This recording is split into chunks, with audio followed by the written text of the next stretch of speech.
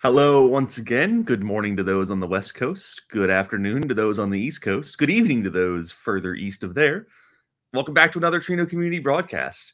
As always, my name is Cole Bowden. I'm joined by Mr. Manfred Moser. Manfred, we've got a pretty exciting episode today talking about a very cool thing being added to Trino. Yeah, we got some hardcore geeks on board today. David Phillips and Matt Stephenson, both long, long-term developers with a lot of experience.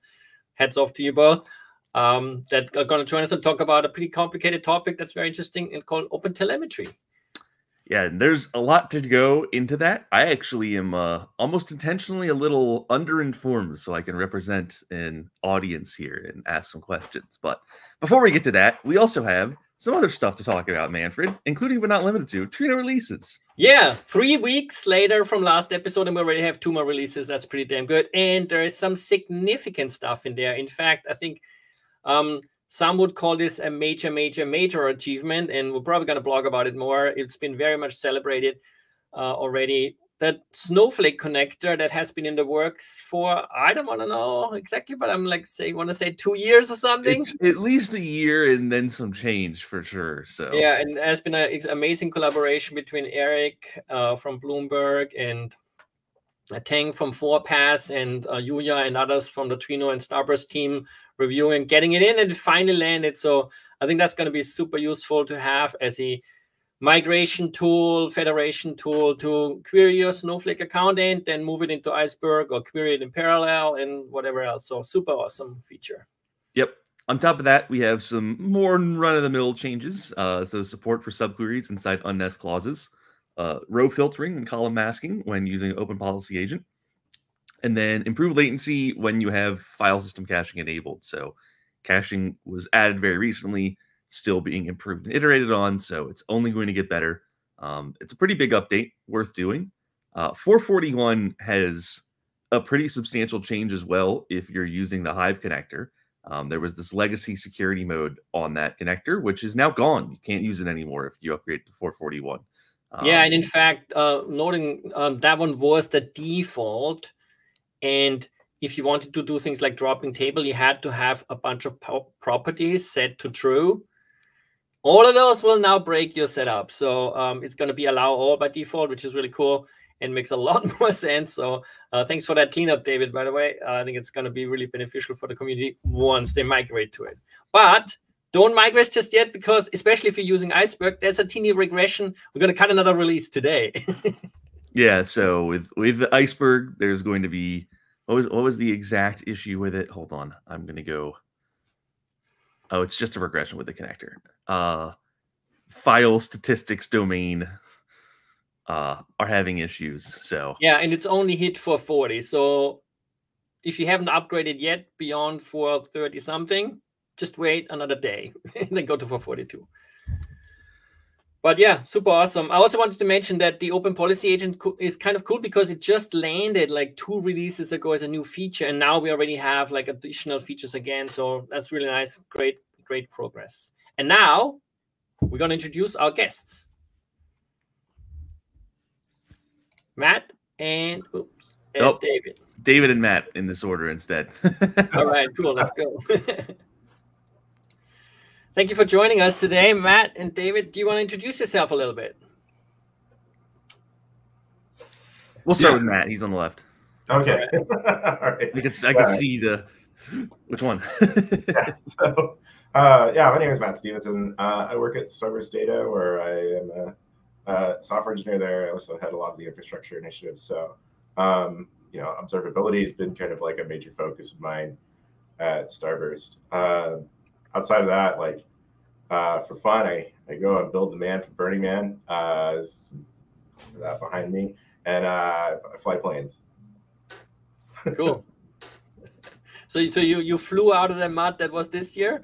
I, I did actually. I, uh, nice work. directly from Burning Man to a set of meetings in uh, San Jose with uh, with a lot of uh, other Starburst folks. I flew actually one of our another one of our employees off of Playa as well. Let's work. Well, let's hope it's like less less less muddy next year. All right, David, what about you? Everyone knows you already, but just like quick recap. Yeah, hi, I'm David Phillips. I'm one of the uh, co-creators of Trino. Been working on Trino since uh, 2012.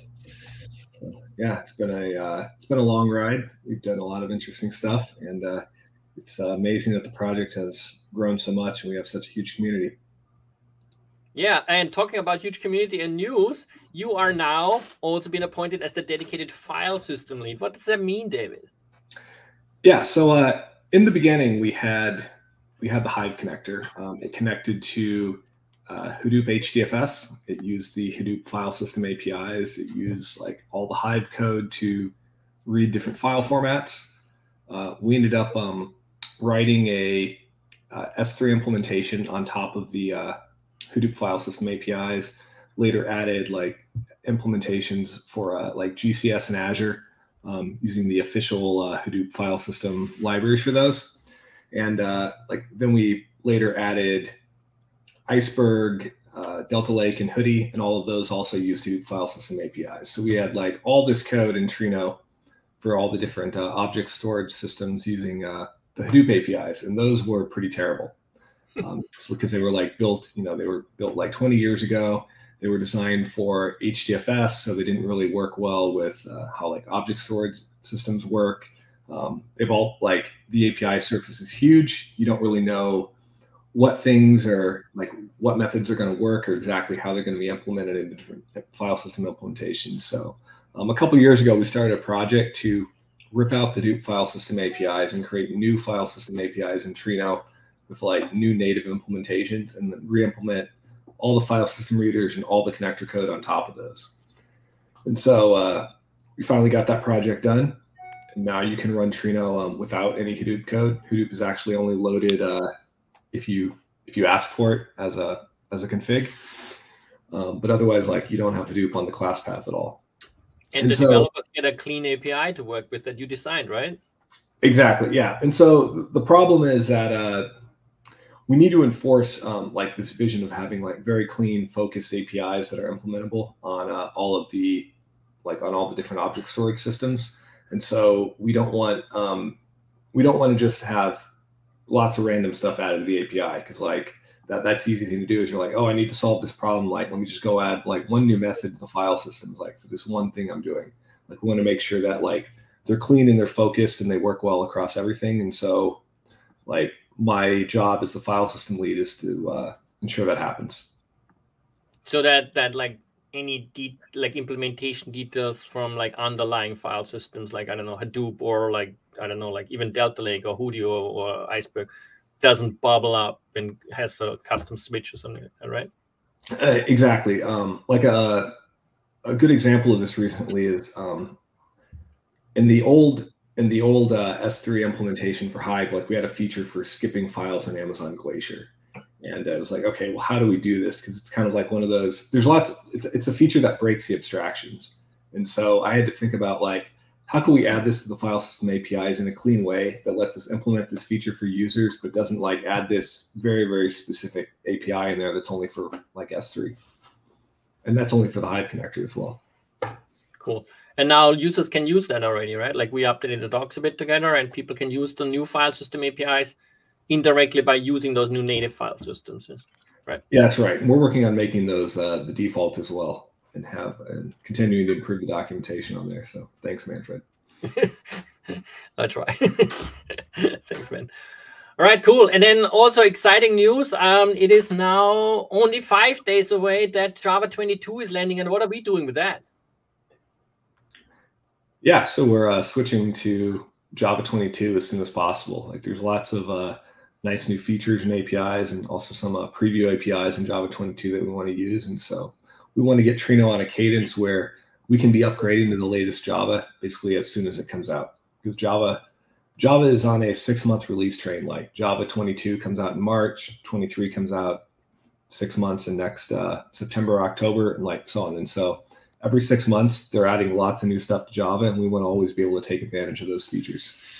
Yeah, especially also for Project Hummingbird, right? Like there's some really interesting things. And even like in the last couple of updates, like we went to Java 21, like multi-line strings and things that are like really simple make a huge impact on making the, the code base cleaner and easier to read. So it's really awesome. And of course, hopefully we get some more contributors that are interested in playing with Java 22 on a on a on a like full on big software, not just some some toy implementation. So that's really cool. Yeah, with with Java 8 still in so many places, being on Java 22 means you get a lot of modern features. I mean, this is relative to 21 where we are right now, but it's it's still like night and day between like Java 8 where you're you still don't even have lambdas and and where we are now. So yeah, call out by the way. My son is at UBC now and they're still like on Java 11 or something like that. I'm like, let's get on with this over there on the universities too.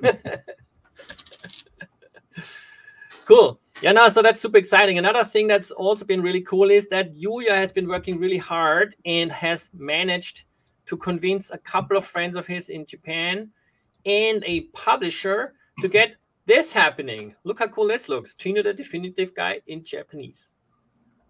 So that is available for everyone now. So now we have a Chinese, a Polish, an English, and a, and a Japanese version. So really, thank you for all that work, Yuya. Hopefully, the community in Japan can appreciate and find this useful. And obviously, we also have a Slack channel for native speakers that um, allows them to communicate uh, on an easier level, right? Like English isn't my first language either, so I don't necessarily hang out often on a German channel, but like I, I, I, totally understand how sometimes things are just easier in your native language, and that's a, that's a good thing.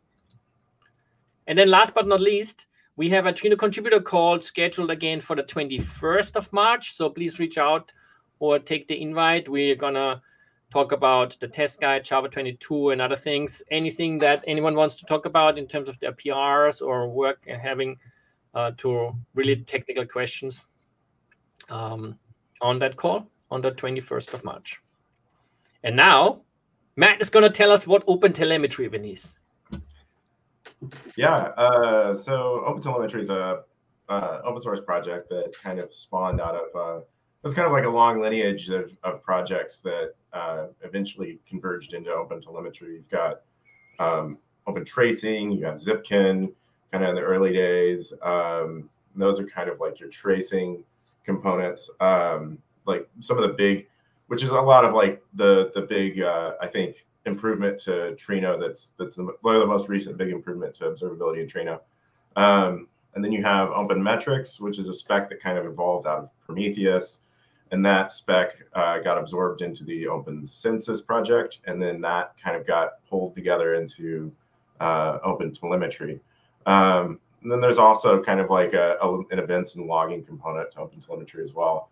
Uh, so it, as a whole, the project encompasses like a standard for um, traces, uh, metrics, and logging, um, and it kind of uh, you know has like various uh, it has support for all three of those. I think over time we're looking at trying to make sure that we uh, support all of those. But I at, at this moment, uh, the big news, the big thing is like you know getting traces, uh, telemetry traces. Uh, right, I have to ask a super dumb question. What is a trace even, and what the hell is it used for? So a trace is um, simply just like uh, a collection of metadata um, and associated with like a temporal record that gives you like um, the time uh, that it takes for a certain thing to occur within code, right? Um, it has a start and end time or start and a duration. And it has a series of metadata attached to it.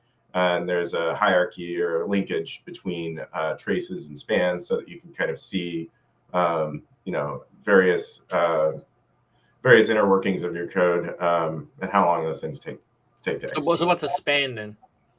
Uh, a span is you can kind of um, I'm gonna get this messed up. Uh, but a trace is kind of like the the the the higher level concept, and a span is kind of like a little bit of uh, that uh, duration inside of a trace. Okay, and and we're, we're okay. That's cool. So it's kind of like a fancy log that yeah. like gets spit out into the ether, and then yeah. telemetry is like a standard for that. Yes, it's a standard for defining uh, the. It's the API for actually creating traces and spans, and then also the standard for uh, transporting those traces and spans over the wire using gRPC. Cool. There's a front end engineer who's familiar with HTML saying, I know what a span is right now. Yes. Different span. Yeah, it also encapsulates something, right? yeah, it's, you know, we're using it to mean a similar but very different thing. So, so where did this like? Why did we think this is a good idea to add to Trino? Um, I'll, technically, David added it to Trino, so I'll, I'll let him uh, in his wisdom. Uh, but I think that um, you know, I think they're great. Yeah. So, uh, well, I mean, it was actually it was thanks to Matt. So uh, Matt had set up a Datadog at uh, Starburst for some internal stuff, and like Datadog was one of those products like I'd never used an observability product like that before, and like once I saw it, I was like, well, this is amazing. Like this is the bomb. it's one of those classes of tools that once you see it, like you just have to use it everywhere. And so, uh, like Open Telemetry, um, it, it was finally like a good API that we could put into Trino. Like we kind of been talked about doing tracing for years, but it was never clear like what API or how should we integrate in the code. And it was finally like Open Telemetry just seemed to be in a state where like, yeah, we can just integrate this and, it, and it'll it'll be fine. We don't need to worry about all the different things you had to worry about with like previous generations of libraries. Open telemetry is like pretty standard, right? Widely used. It's from the Cloud Native Compute Foundation as well, isn't it? So there's a lot of like supporting software, like you mentioned, Datadog supports it. I think there's one called Jaeger or whatever. That's like a bit of a UI. There's probably others as well, I'm guessing, but I, I don't know honestly. Yeah, it's pretty ubiquitous in the industry. Like majority of like uh, observability providers allow you to, you know, push almost directly to their uh, to their endpoints that are like Vind specialized collectors that take care of authentication, uh, things like that that you can run right next to Trino. Um, that's kind of how we do it at at, uh, at Starburst. So, yeah, so, so why is tracing useful in Trino? Like Trino is a distributed system. You run a query, it's going to run on multiple machines. It's going to go talk to various backends. Like it might talk to like S3, it talks to Hive Metastore, or AWS Glue, or it talks to Azure. It, you know, it's it's um or different connectors talk to like different backends, and so you want to know when you're running a query like why is this query slow or like where are the slow parts or like just general performance metrics like what happened where when i was running this? And so tracing lets you instrument all the code and see exactly like okay how long did i spend planning the query how long did i spend in each optimizer? How long did i spend making various metadata calls? How long did i spend reading data from s3 right? Like and you just get to see like a waterfall of like all those things throughout the entire query so it's like a project plan, but actually what happened. Exactly. So, and it can be very detailed. Like you can see like just high level stuff. You can also see like very detailed down to like individual calls to S3. So, and so with this knowledge, we can do what? Optimize better, upgrade the hardware that's the bottleneck. All the above? Yeah, all of the above like it, really just, it gives you information about like what's going on when you run this query. Because before you yeah. just kind of look at it and you just kind of have to guess, or you'd have to have like look at various metrics and like different places, and like tracing just gives you like just tells you exactly what's going on. So and, and it's also turned out to be useful in uh um, in development as well. Like we had a um, thing, we had a tests that would want to test um, performance characteristics of the code, like okay, when we do this operation, how many backend metastore calls do we make? Like exactly which metastore calls? Because it's very easy to introduce things where maybe you accidentally call it in a loop or you just you have some extra calls in there, and those can be uh, a performance hit. And so we'd have these like special wrappers that would be kind of like tracing where they'd instrument like this is how many calls we made to this method, this is how many calls we made to this method, and we'd have all these assertions in the code to verify it. But when you get to do that for like for everything, it's just it's it's kind of a mess and it's kind of wasted work because it's only for testing. And now with tracing, we can just rip all that out and we can actually use the same tracing code that we use in production and just verify those performance characteristics and tests. So both like you get rid of code and you know that you're actually using the same tracing code and that you're using production. So you you know that the tracing code works correctly. Cool. So so like when you decided to pull this into Trino, um, like obviously you pulled in the dependency or whatever that that makes the format and then and then how did you decide how to sprinkle it across the code base? Like i mean trino is huge and there's lots of moving parts. Like are you just like oh yeah a little bit of planner here a little bit of optimizer there and these connectors a little bit of sugar? Like like how did how like where is that at and what, what did you decide is important to emit these traces? Yeah so part of it was just judgment just having an idea of like okay these things seem interesting. So you have a like Matt said, like you have a trace, and a trace like will start. There'll be one trace for the entire query. So the entire query, like everything inside the query goes into a single trace, and then you have spans that break down the different operations. So like it's kind of obvious. Like okay, we're gonna have like one span for planning, one span for generating splits. We'll have spans for execution, right? And those are pretty high level. Mm-hmm. And then inside of that, you're like, okay, well, we're doing some planning, like what's interesting in planning or like what do I think might take more time. So then you just add like another level of tracing inside that span. And then you have that span if like so if you kind of look at a span and like it's it, that span takes a long time.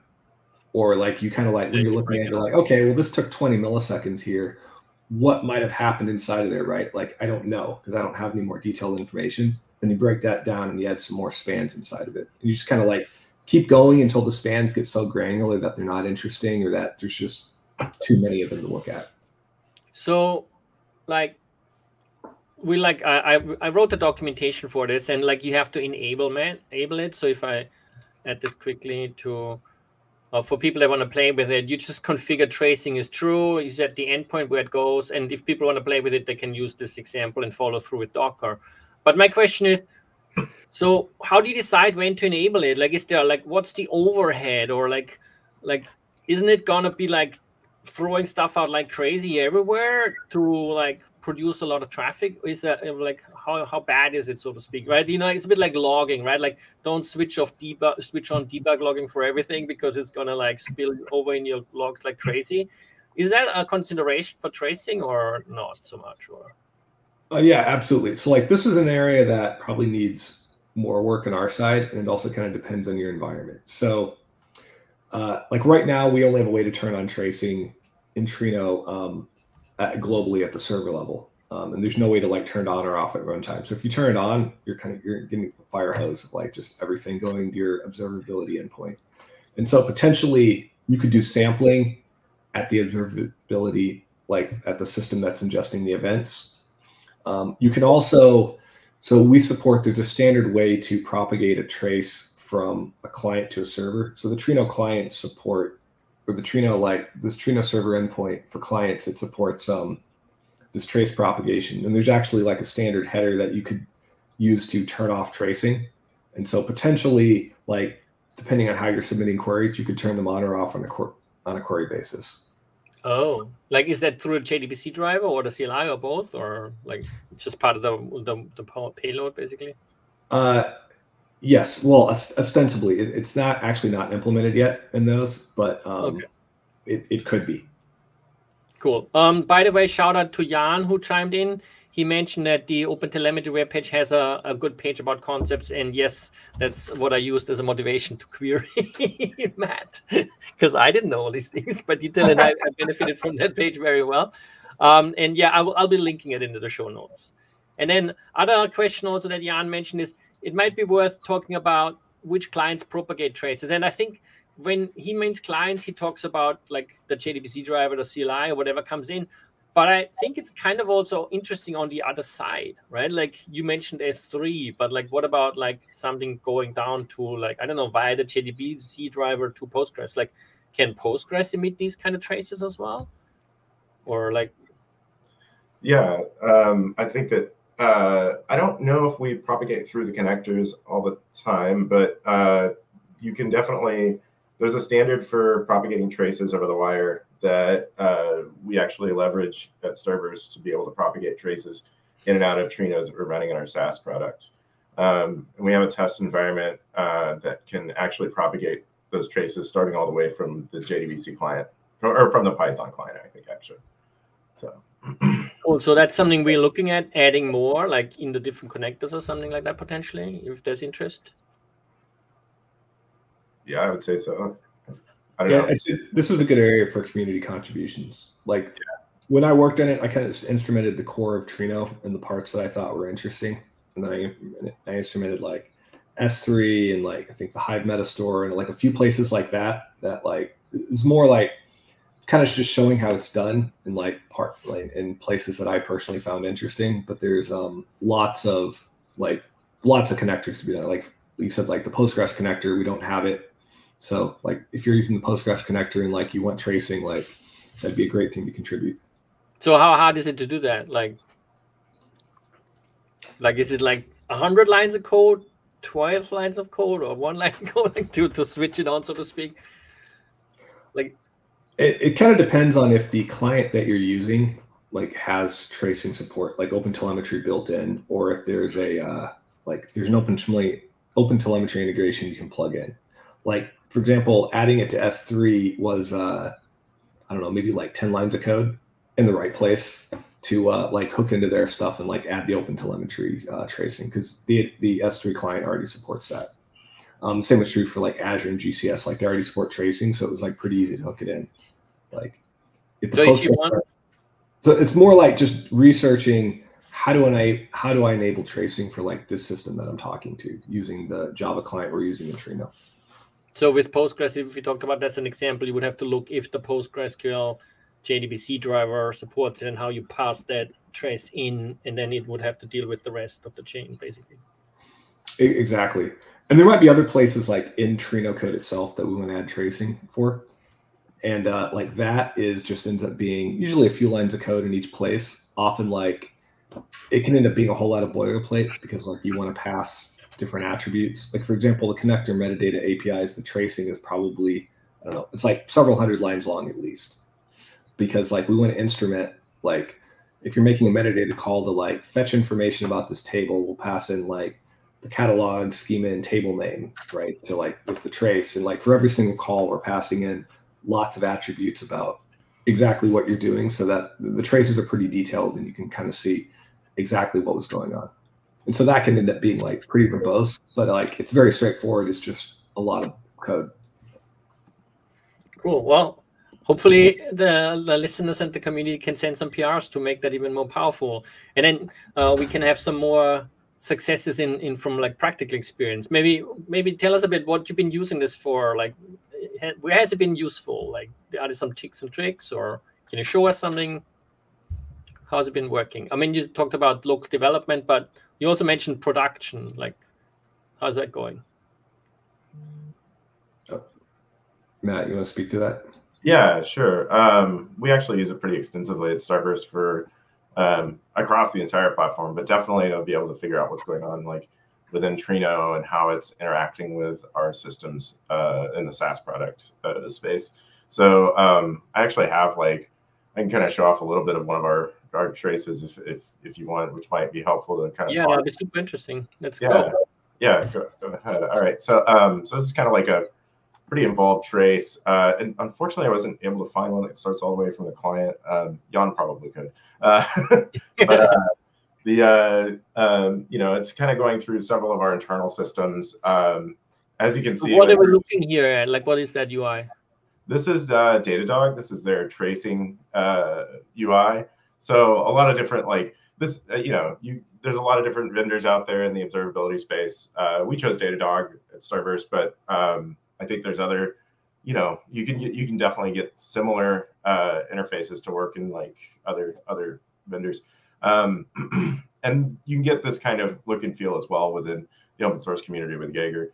Uh, but uh, just kind of zooming in a little bit here, you can kind of see uh, this is only like 1.6 seconds, but you can see we're going through like several internal services here, um, going through kind of like our security layer. We are just talking about um, uh, Postgres, and actually, you do we do have like um, the Postgres driver does support uh, open telemetry out of the box, so it's probably not a big lift for the community.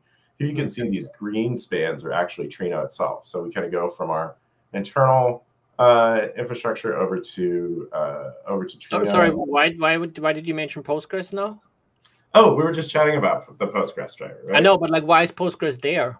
Uh, that's actually our internal uh, database that we have uh, for our SaaS product. So it's not Trino calling Postgres, but this is actually our internal services that Trino uh, interfaces with in our SaaS platform that then persist data within uh, Postgres. So like some configuration in Starburst Galaxy that like what client you are and like whatever what clusters you have that kind of stuff. Exactly, or like how like users and roles, things like that. Um, so uh, and you as you can see, like as David was saying, you can get incredibly detailed here. So you can see we've got uh, individual tasks. We've got um, oh gosh, this UI gets a little ornery when you've got this many traces, but you can see um, that you've got tasks broken out. You've got a remote task. So uh, this is all like doing um, RPC. This is, uh, sorry, doing REST calls between. Uh, I think this is actually all within a single coordinator on this, but uh, this is all running on a single node Trino installation. But you would be able to see like through this, if I if I pulled up the right trace, you could see where we're uh, where Trino is calling back to itself.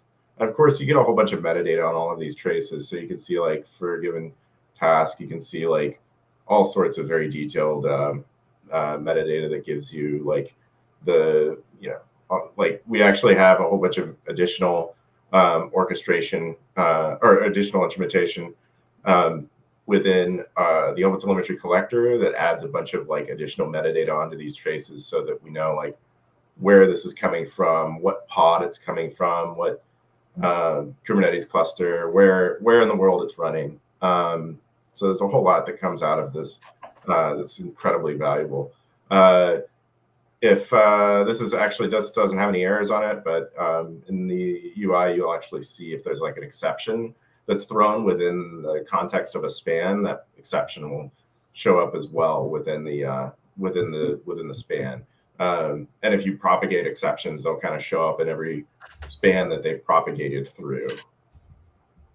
So and it's all green because it's all on one coordinator Trino, basically. But if there's like multiple, yeah. would they show up in different colors? So you would know like this node does that, that kind of stuff?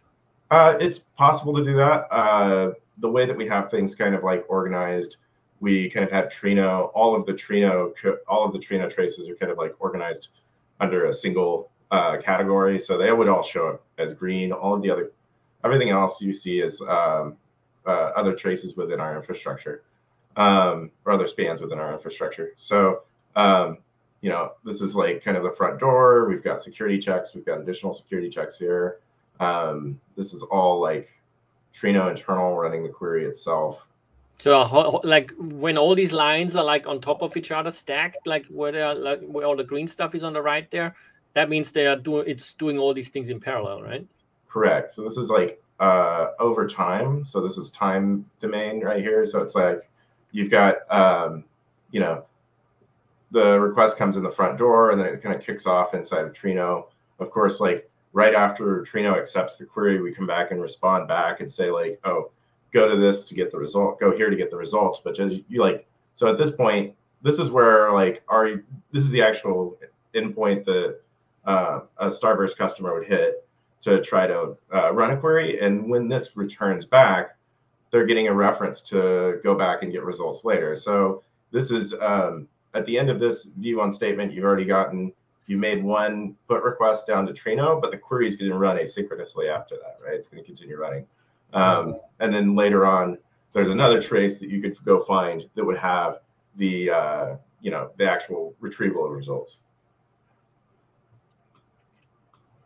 So, question How much a performance hit does adding all of this tracing do? Like, are we adding milliseconds or less than that or more than that? Like, how much are we paying to have all of this insight if we're enabling this on a cluster? I mean, on the Galaxy, uh, like the overall, like it doesn't have much of an impact on uh, on any of the Trinos. It doesn't appear to have any impact on Trino running inside of Starburst. And uh, I believe that a part of that is because we're very careful about where we run the OpenTelemetry collectors and how reliable we make sure that is. Because uh, when a span closes, the span processor will immediately make a gRPC call to uh, an OpenTelemetry collector. And I, if, if that infrastructure is unreliable, um, or overloaded, then you can have those API calls kind of like take longer and eat up uh, threads and eat up time on the machine doing retries. so network wise that that collector has to be close and like really good performance basically and not like so yeah we run like high availability multiple collectors and they're all within the same we run kind of a hierarchy of collectors so that you know the traces get off of uh, the traces can be pushed to a collector very quickly the spans can be pushed to a collector very quickly Cool. And David, you mentioned before that it can be enabled sort of like via like a not yet exposed kind of hack from the client. So are they is it always enabled on the clusters or is it basically by default now disabled and then you switch it on when you're like, oh, this is something going wrong, we need to look? Uh, yeah, so if you turn on tracing in Trino, you set the trace enabled equals true. It's always enabled. And then you could disable it on a per trace or like a per query request by setting the appropriate like trace state header when you um, submit the submit the query from the client. Yeah, but as to the overhead, like it's going to be a slight amount of CPU. Like I'm sure it's like less than one percent. Like it's uh, very minor. And most of the places where we add tracing are things that are calling out to an external system. So like if you're going to go make an HTTP request to like like S3 or some, you know, you're, you're going to like call Postgres or something, right? Like those network, like the overhead of doing a network request is like very high relative to like the minor amount of overhead you're adding for tracing. Okay, cool. Like we don't add tracing. Like if you add it, if if you're doing so much tracing that tracing was using noticeable resources, like you would be tracing way too much. Mm-hmm. Like, and you you would have just way too many traces as well. So so so maybe we need to dedicate you as the tracing placement lead as well. So when we send pull requests in, people don't just sprinkle the traces everywhere. it's about the being deliberate rather than just you know, you don't want to be the the undergrad engineer who's debugging by adding print statements every third line.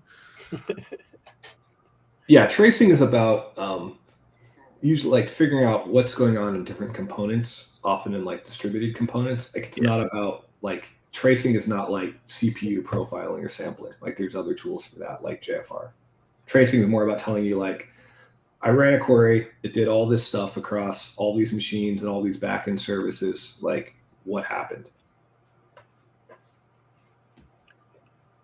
So, so when you come to measurements, um, Matt, you also mentioned that there's also open metrics involved, and you like added that as well to Trino. So, but how is that different from or like related to Open Telemetry?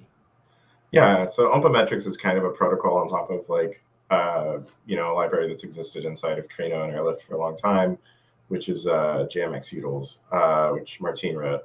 And um, what open metrics does is it provides like kind of uh, first class support to Trino to expose the um, uh, the OpenMetrics standard endpoint, which is similar to what you would find like um, if you were to add like the Prometheus client libraries per se to like your your code, like start exposing metrics to a Prometheus um, collect like to Prometheus uh, collector.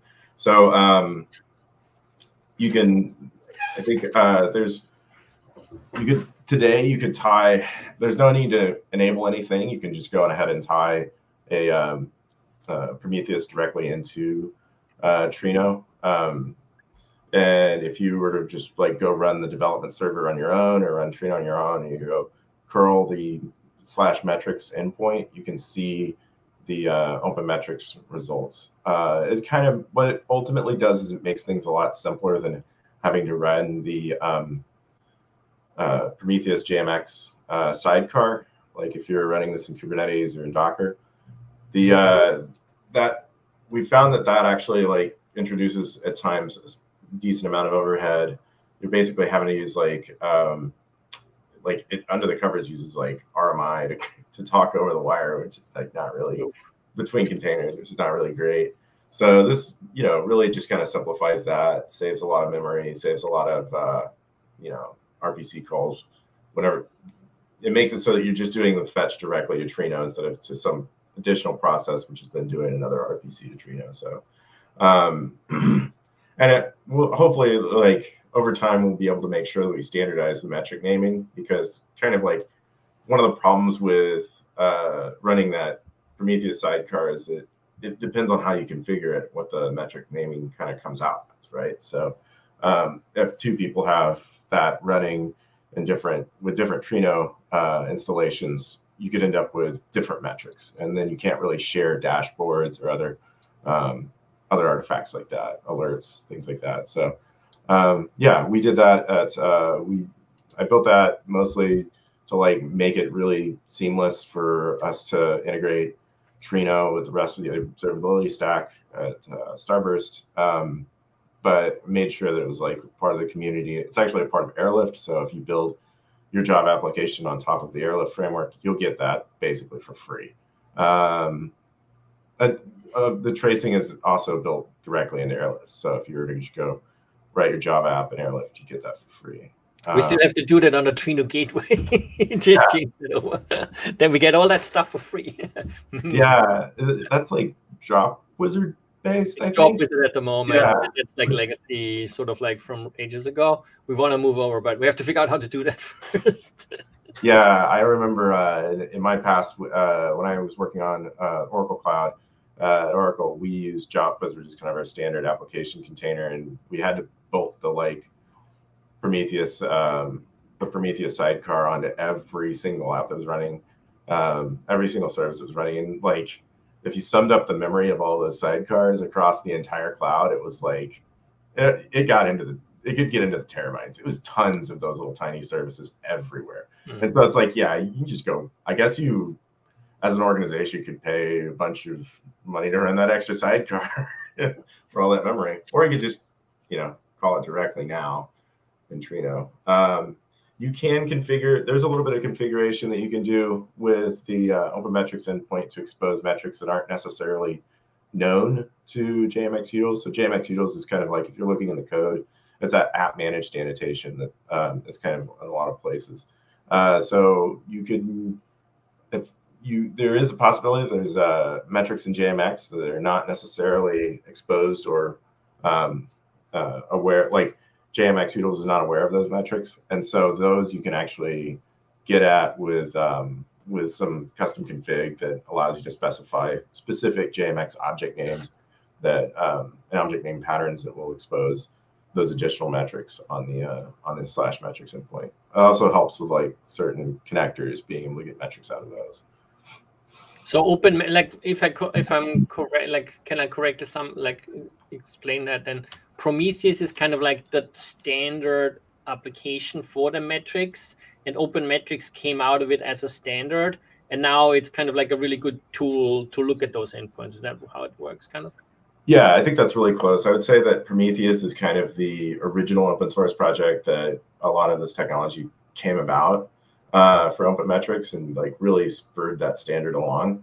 Open Metrics itself looks pretty close. It's not identical to the uh, Prometheus standard, but uh, Prometheus is interoperable with OpenMetrics. Um, and OpenMetrics is kind of like trying to get to a more open standard uh, that's not necessarily a part of the uh, Prometheus open source project itself. So mm-hmm. a whole lot of different uh, observability platforms support OpenMetrics. You can use like the Datadog cluster agent to scrape them. Uh, you can use uh, Chronosphere supports them, supports it. There's a whole lot of different um, uh, vendors out there that support open metrics as a kind of a standard protocol. And it's, kind of oh, funny because we now have sort of two sort of like infinite loops in a way. Like you can expose metrics in Trino, pump them into Prometheus, and then you can use the Prometheus Trino collector to query those metrics with Trino and SQL. yep. And you can do the same with the JMX stuff. you can also yeah. use the JMX connector to use SQL to query that stuff. So Trino is kind of the the UI for for interrogating that stuff as well. But Manfred, what if we traced the queries where we're querying Prometheus, and then queried Prometheus to check we're tracing everything? it's a loop. It's like you can, you can go full uh, Ouroboros. yeah, no, it's very interesting. So Um, and yes, I will add the documentation for the stuff. I, I will extract even more knowledge out of Matt and put that together. there is no documentation for the metrics input just yet, but it is coming. Yeah, and if, uh, at Starburst, we're actually exposing some a, a, subset of those metrics for the Trino clusters. So it's uh, it's something where like uh, you can actually just run your own Prometheus and scrape your cluster that we're running for you. Your Trino cluster that the Starburst Galaxy is running for you. So Matt, a question that I've had is why open metrics versus open telemetry metrics? Yeah, that's a good question. And uh, and like I have strong opinions about the pull versus push metrics, which is kind of the biggest uh, reason to go for open metrics versus uh, versus open telemetry. Open telemetry's metrics implementation is really powerful in terms of like so its protocol is gRPC. It does a push of metrics um, data across the wire. So uh, from the perspective of like a running application, if you were to utilize uh, the Open Telemetry metrics uh, protocol, it would push gRPC messages to a collector, and then that collector would push those metrics, say, to another observability platform or to a, a metric store. Um, the the uh, the benefit of open metrics is that you don't necessarily have to rely on the application itself to push those metrics.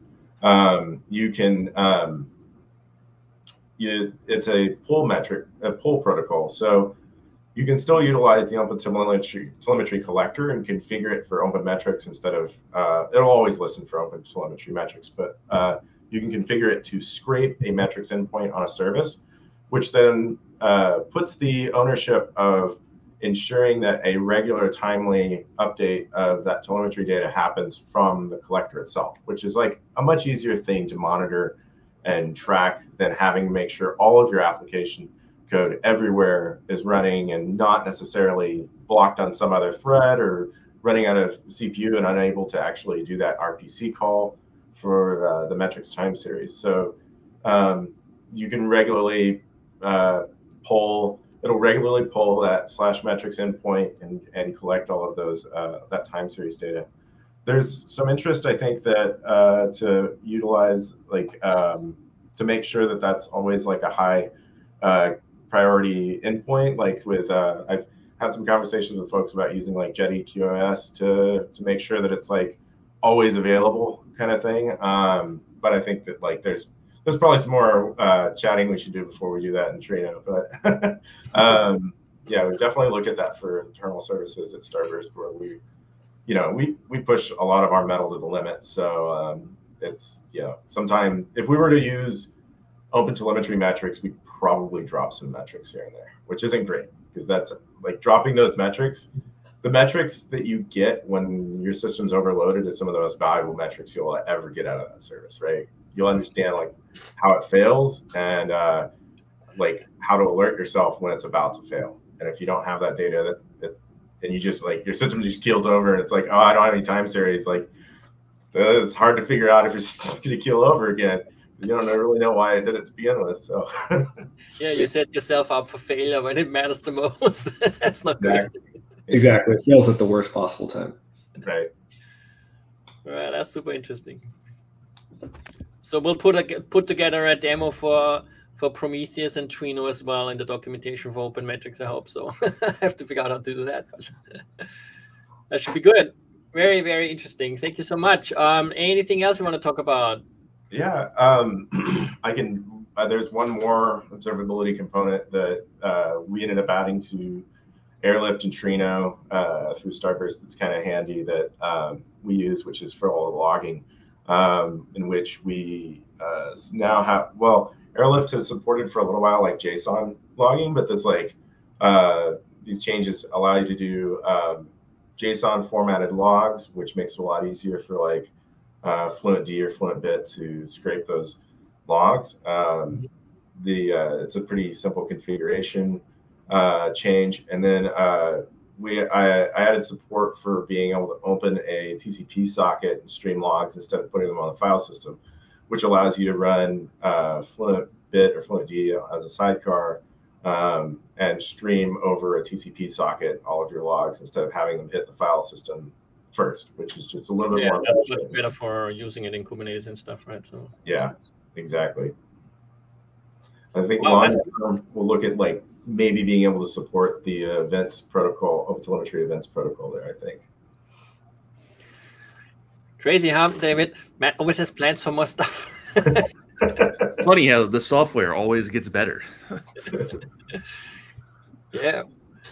Cool, cool. Anything else you need to understand better? Because I I'm like overloaded. My head is like smoking at this stage. yeah, I think uh, it's it's fascinating, and there there's always more work to be done and more to learn. Right, that's kind of the beauty of of these systems.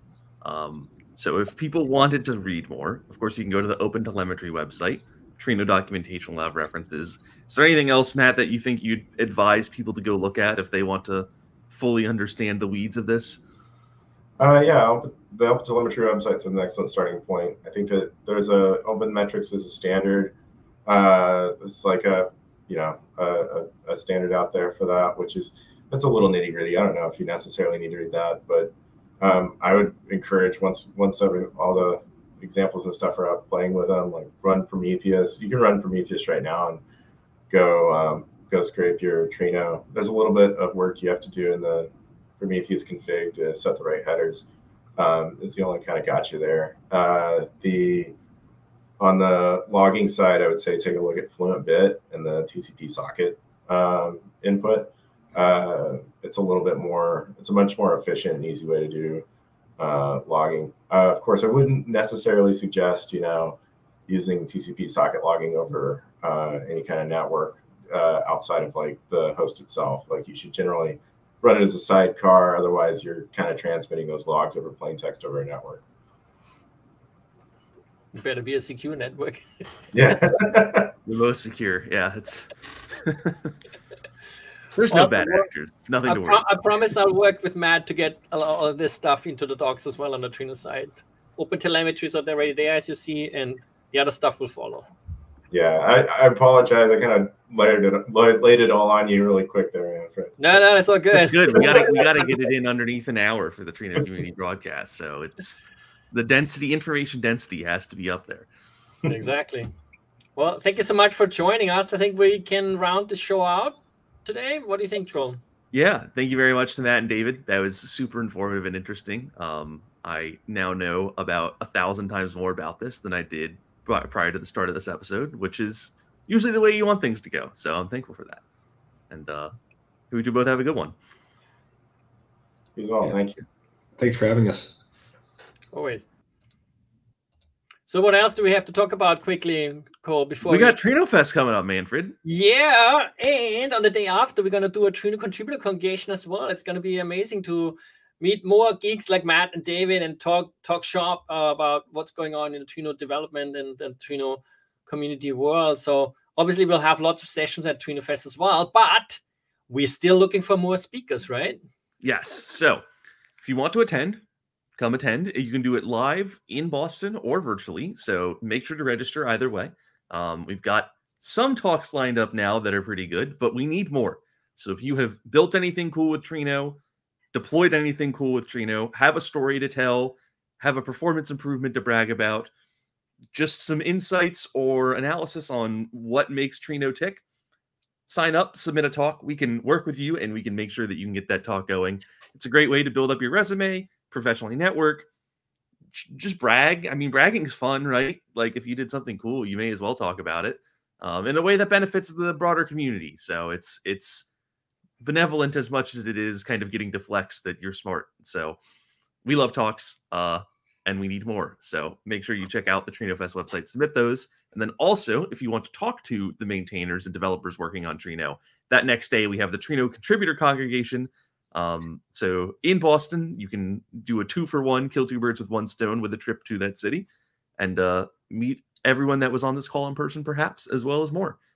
Yeah, and also hear that Boston is is quite all right in June. So Oh, it's so nice in June, Manfred. it's one of the nicest weather patterns out there. It's the reason you don't live in Boston is the winter is terrible, but the summer, perfect.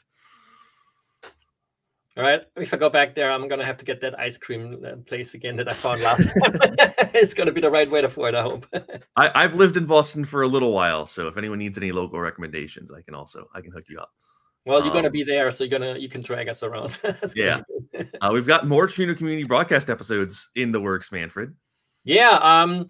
If you go, and I should, can do that here in the upcoming episode. So next time on the 4th of April, Istvan is joining us from Mitzu, uh, which is a no-code uh, analytics tool for that has Trino support, and it looks really, really cool and has some very interesting ideas in it. Uh, should be really interesting to talk to Istvan. He has got really good experience across the analytics space, so um, with some very novel ideas. That's going to be a, a great episode.